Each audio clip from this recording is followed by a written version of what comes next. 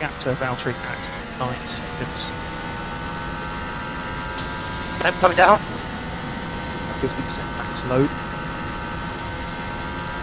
So this is the final lap. Gap to Valtteri at 9 seconds. Big lift into turn 1, big lift turn 2. Still 8 seconds to Valtteri. So let's trundle in, get as cool as you can. Beat the lap, just trundle. Okay, well done, mate. Sorry about that last bit, but what a fantastic drive. Got back up to P4. And yeah, just dropped that close to sight with this management. But yeah, astounding drive, mate. Lewis, that's what, sorry for the for the temperatures at the end. That was an amazing race.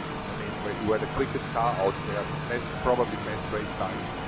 Uh, would have would have gone for the win. So amazing. Great work, guys. Really happy with that result.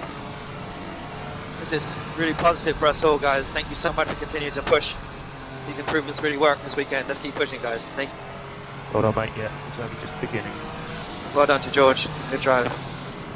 Uh, Lewis, really, really strong drive today. You were the fastest man on track. So we've got a lot of potential going forward.